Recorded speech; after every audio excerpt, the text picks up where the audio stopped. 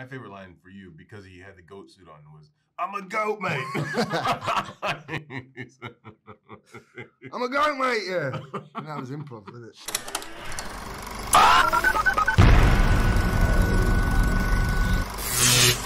Hi, I'm Kristen Maldonado from Pop Culture Planet. It's so great to meet you both.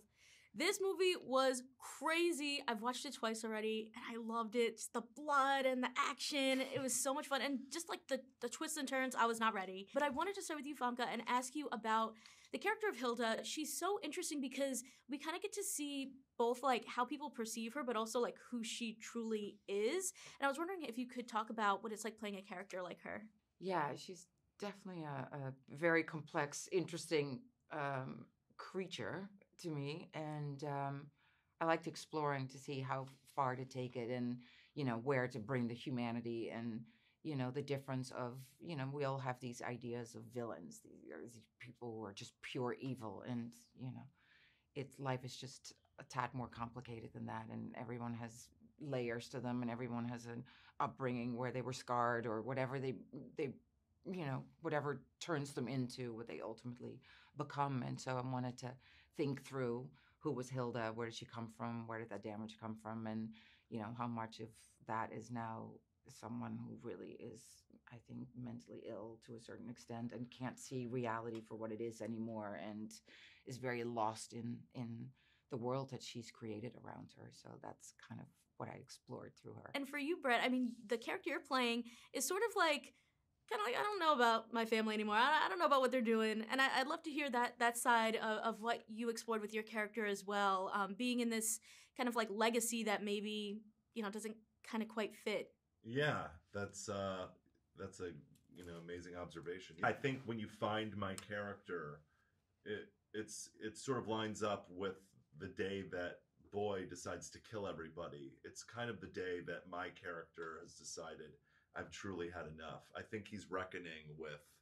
I think he's the person in the family that really realizes uh, that they've done some evil things, you know, and that he wishes wishes his life was different, and so he's really self-destructive and punishing himself for that. But um, yeah, this is the day that he he just decides I I, I don't want to do this anymore, and uh, you know they're my family, but ah, you know, no thanks. no thanks. No, I yeah. hear that.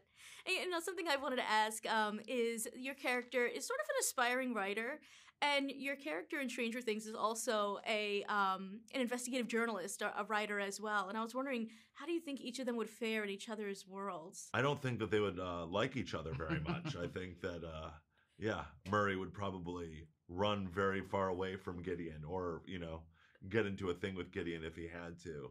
Whereas, uh, yeah, Gideon would probably just uh, kill Murray.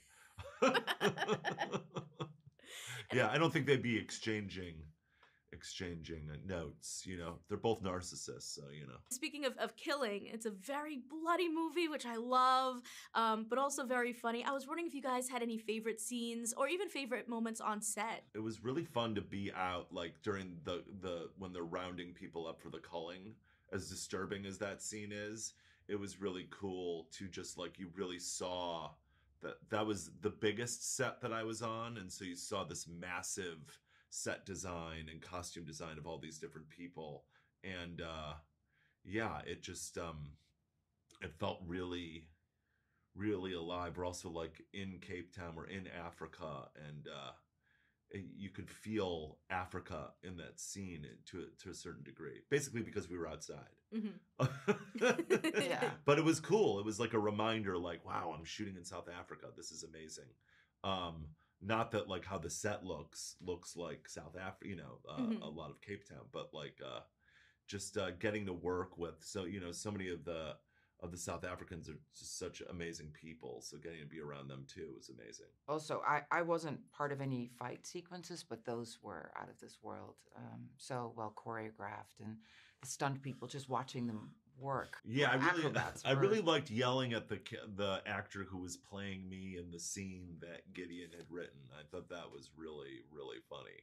That was fun, and you know, there was a lot of improvised screaming at him. Hi, I'm Kristen Maldonado from Pop Culture Planet. It's so great to meet you guys. There's so many cool fight sequences, so much action. What kind of training went into preparing for this role? Oh, Take it away. Um, we we did a lot of uh, man. I, I we did a lot of Press ups.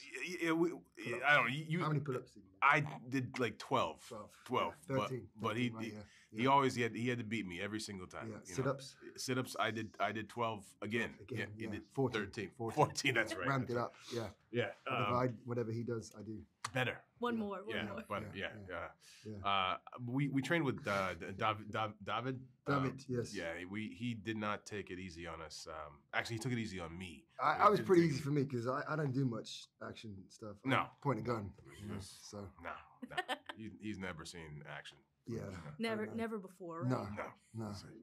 He runs from it. But, you know, And This Yeah. film is also hilarious. So I was wondering what like your favorite scenes to film were. Ooh, I my favorite scene to film were every every scene that I had with him, which was every scene I had. Thank you so So- much. I really appreciate that. I, uh, yeah, yeah, yeah. Yeah. I, I return the thing. No, Isaiah's Oh. amazing. Isaiah's anything that we could do. The Benny Basho yeah, uh, uh, that combo was the nice. combo, yeah. They should have their own spin off film, but That maybe Would prequel. be I agree. Yeah. absolutely Because they, amazing. they, yeah, we can't see anything actually. It's a spoiler if I say yeah, we don't. Yeah, we. Uh, yeah, yeah. That's. God damn it!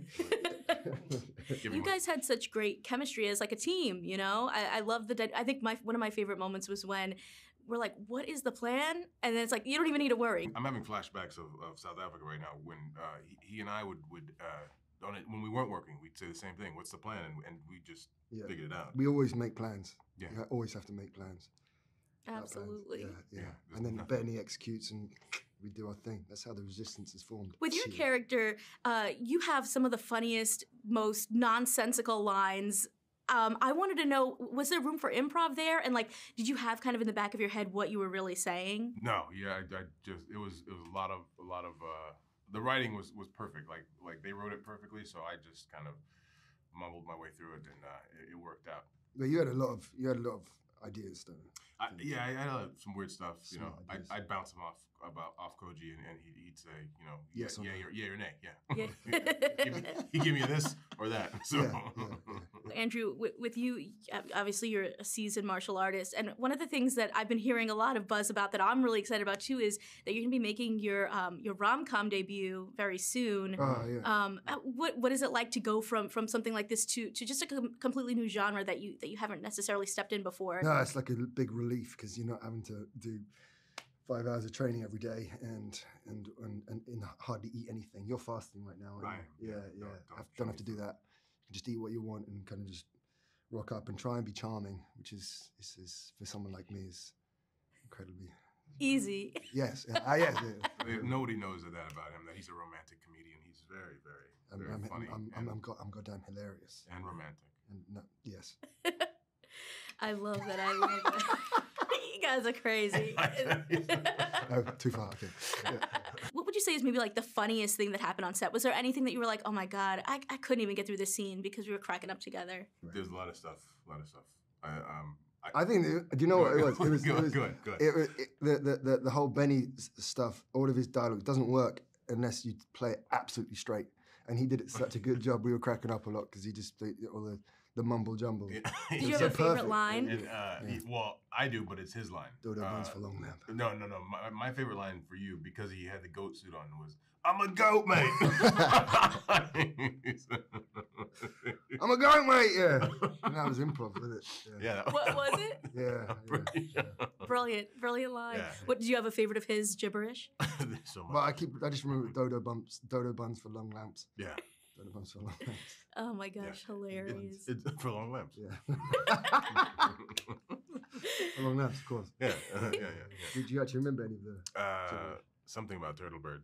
Dodo bun? Oh yeah, Turtle, yeah, yeah. yeah, yeah, yeah. Yanmei. Yeah, yeah, Yanmei. yeah, Yeah, yeah. Yanmei. Hi, I'm Kristen Maldonado from Pop Culture Planet. This movie is crazy. I've seen it twice already. Oh, And it was awesome. fun to watch it through the first time and like not know what's going on, and then watch it the second time and be like, oh, okay, I see Oh, all the nice. setup and everything. This is your feature directorial debut. There's so much range. There's so much that you like, kind of like break through, and I was wondering how you found the unique style for this film. Ooh, that's a that's not a five minute question. um, it is literally the the movie, and I I know like believe me, sort of in the middle of making it, I was like. We we should have just done something easier. Just like dial it down a notch. Just like uh, less less complicated. But yeah, that's what we that's what we did, and that's what we started out with. And this movie is basically a culmination of everything that the writers and the action director and me and the DP that we love, like all the video games, all the the crazy comic books, all the weird ideas. It was basically we sort of created this canvas for for people to, as we put it, let let their freak flags fly. And it was like the the production designer Mike Burke was like, it's like yeah, sure, make that pirate ship pink. Make it pink and purple. This is great. Uh, put glitter everywhere. Uh, this is amazing. Let's go. It's like Neon Fever Dream, but then all the blood. It's awesome.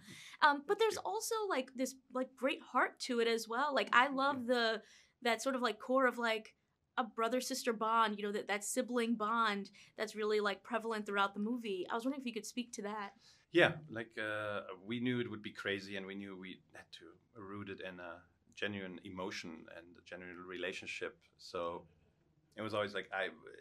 These movies need a heart. If they don't need a heart, they feel hollow and, and just like unsatisfying. Mhm. And uh, I'm in that regard, I'm a big softie also. So that's that's why the ending is the ending, and that's why uh, the movie's that movie. What was your favorite thing to film, and also what was like the most challenging thing to film? This is gonna sound stupid, but I love it. There's this tiny little in the in the flashback. There's this tiny little uh, commercial for the Frosty Puffs, and it's just like the Frosty Puffs figures just throwing blue rings at each other. And it was like a 20 minute setup. It was like, all right, you throw that ring at him, and then you you do this, and it's like just like, oh, that is fun. There's like low pressure, and just after like four weeks of craziness and insanity of shooting, it was just like 20 minutes for me to just watch and enjoy this, and uh, that was my favorite thing to shoot Mhm. because it was so easy. Um, and for sure, the action sequences. Uh, Dave didn't hold back and uh, made his life, his own life, a living hell with those, uh, with his, the way he wanted to shoot this, and uh, I think it paid off. But yeah, those were very, very hard to shoot and uh, took a lot of co- team coordination and effort. There's also a lot of really cool flashback moments, um, and you kind of play with memory and family. I was wondering, like, how hard is it to set up those kinds of moments? There's a lot of work in the editing where you look at it and uh, go like we we at one point we flipped two scenes completely and it was like oh let's do shoot let's show this before this and in the script it was the other way around but when we did it it was like why didn't we write it that way that way it makes way more sense so um, yeah that's the it's mostly with these with flashbacks it is a lot of editing It made me want to like learn even more about this world because it's so like rich and crazy. Do you ever see yourself like coming back and and maybe continuing on this story in a, a grander scheme? Yeah, definitely. I mean, it all depends. Like, we could do sequels, prequels, spin offs. Uh, there is a lot of thinking, and I think there's so many great characters in there that I'd love to follow up on.